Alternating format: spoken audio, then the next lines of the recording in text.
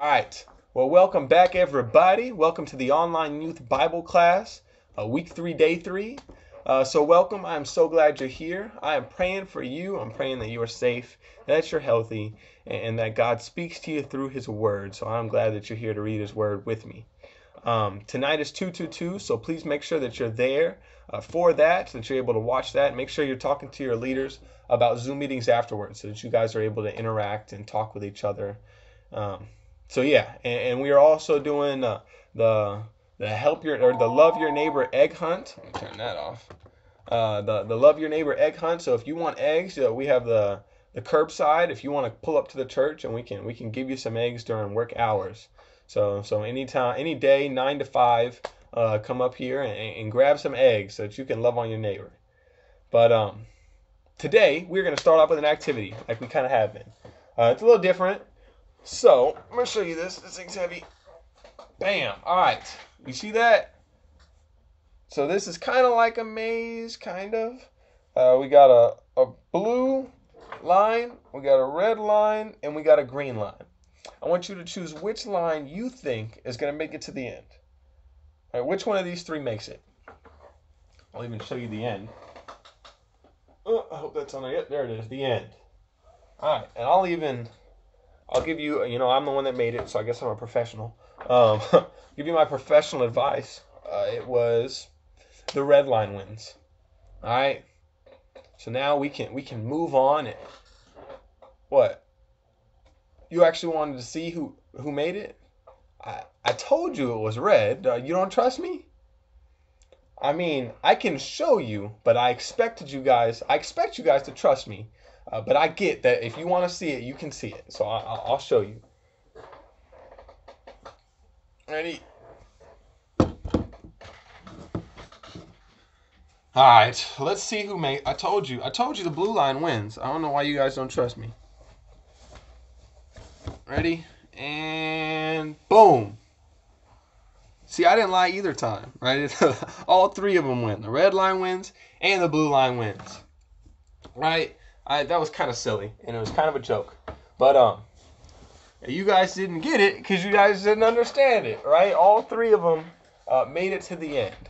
So uh, the point of that was just to show you, uh, you know, something that you might not understand. Uh, so you didn't trust me because you didn't understand it. So uh, today we're actually going to be reading uh, the story of baby Moses. So if you want to turn to Exodus 2, we're going to start at the very beginning. I'm going to read it. It says, Now a man of the tribe of Levi married a Levite woman, and she became pregnant and gave birth to a son. When she saw that he was a fine child, she gave him uh, she hid him for three months. But when she could not hide him, uh, but when she could hide him no longer, she got a papyrus basket for him and coated it with tar and pitch. Then she placed the child in it and put it among the reeds along the bank of the Nile. So, um, in, in Exodus 1, at the very end, it actually said that the Pharaoh uh, gave an order to all the people. And he said that every Hebrew boy uh, that is born must be thrown into the Nile, right? It has to be thrown into the river. Uh, but you can let every girl live. So, so he was really saying that every Hebrew boy has to be killed. Right? There can be no more Hebrew boys. He was trying to kind of cut off the Hebrews and, and not have more. Right? If you don't have boys and girls, you're not going to continue to to make more and more Hebrews. So he was trying to to cut them off. So, um, verse 4 then says, uh, his sister stood at a distance to see what would happen to him. Right, his the baby's older sister stood at a distance to see uh, what would happen after he was placed in the river. Uh, then Pharaoh's daughter went down to the Nile to bathe, and her attendants were walking along the river bank. Uh, she saw the basket among the reeds and sent her female slave to get it. She opened it and saw the baby. He was crying, and she felt sorry for him. This is one of the Hebrew babies, she said. Then his sister, right, the baby's sister, um, asked Pharaoh's daughter, Shall I go and get one of the Hebrew women to nurse the baby for you? Yes, go, she answered. So the girl went and got the baby's mother. Pharaoh's daughter said to her, Take this baby and nurse him for me, and I will pay you. So the woman took the baby and nursed him. When the child grew older, she took him to Pharaoh's daughter, and he became her son. She named him Moses, saying, I drew him out of the water. So, right, we have a, uh, the king said, "No more, no more Hebrew babies." Uh, and then uh, this woman, this Levi woman, gave birth, or, or, no more baby boys. Sorry, she gave birth to a, and then this Levi woman gave birth uh, to a baby boy. And as she saw that he was a fine child, she was like, "I, I don't want to kill him. Right? That would be hard. Right? You, I don't want to kill him." So uh, she tried to hide him for three months, uh, but she couldn't hide him anymore. Right? Babies aren't quiet. so uh, then she she made a basket that would float and she put him in a basket and she put him along among the reeds, right? So he probably wouldn't float away. And uh, she put him there in the river. And then the Pharaoh's daughter uh, came down to take a bath, and she found the baby. And at that point, the the baby sister was kind of stalking the basket out, like watching it. And she's like, "You want me to go get somebody, one of the Hebrew women, to take care of it?" And she said, "Yes." So the baby's mother got to come and take care of it. She even got paid to take care of her own child. So um, it's an amazing story right? And what I want us to catch here is um, it would have been hard for her to have a baby boy at this time. Right? Imagine hearing that you cannot have a baby boy. You've already had a girl, and now you can't have a baby boy. you have a you have a baby boy, right? That would be hard. It'd be hard to be like God. What are you? These are Hebrew women, so it'd be hard to be like God. Why did you give me a baby boy? Why is this happening? I'm not. I'm not supposed to keep him. I'm supposed to kill him now, right? You don't understand uh, you know, it's it's hard for her to understand. What, it would be hard for her to understand uh, what God's doing, right? What's going on. Uh, in the end, God gave her away, right? God had a plan for Moses the whole time. Uh, so he gave her away, uh, uh, an option. And she, she put him in the river, and, and now God worked it out to where she can raise her own child without having to hide him. I mean, she even got paid for it. Uh, but but God had a plan for Moses the whole time, even though she uh, probably didn't understand that was the plan. That Pharaoh's daughter was going to come down and take it, and she was going to have me, and I was even going to be paid to do right. Like that's crazy. Uh, I'm sure she didn't know God's full plan, but uh, she God did have a plan, right? And that's what I wanted to catch, right? I wanted to go over this, and I wanted to do that uh, because maybe it's it's hard for you right now right? With everything that's going on, maybe it is hard for you right now uh, to trust God, right? To understand what's going on uh, with everything. I don't know what that is. Uh, there's like a something floating around. Uh, maybe it's hard for you to understand what's going on, or even to trust God uh, with everything that's going on. But what I don't want us to get confused is, the difference, right? We are uh, Uh, following Jesus uh, is more about trusting Him than it is understanding Him right? It is a whole lot more about trusting him than understanding him, right? This coronavirus can be confusing, right? You go, what's happening right now, right? What is going on, right? What is going to happen after that? What's going to happen in the next couple weeks? What's going to happen after this is over?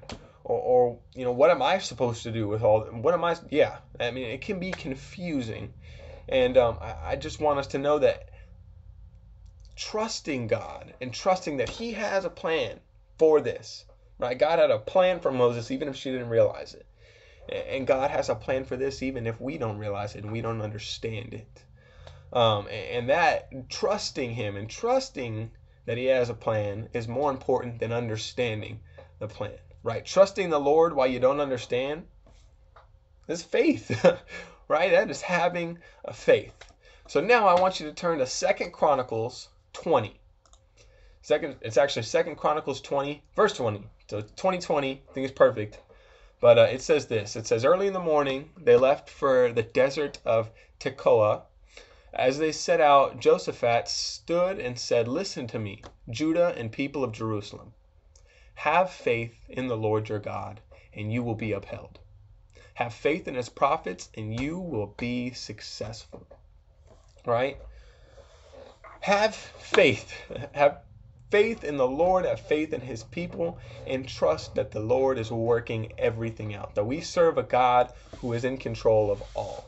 Right? He nothing goes on without God okaying it. Uh, so I want us to be able to trust in that, right? I want us to be able to trust, uh, uh, like hopefully uh, Moses' mom did, that that I'm putting this baby in here, and the Lord has a plan for him.